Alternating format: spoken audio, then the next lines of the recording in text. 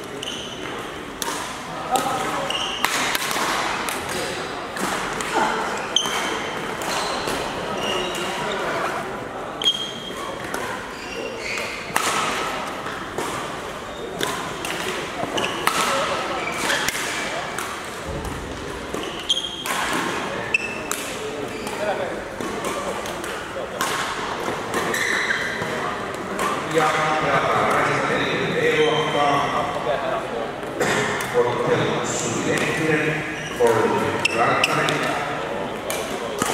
vastaan Eija Kaskato, Eija Sähkönen, Ketä Kymmenen. Eli pelataan väestöteiden B-luokkaa.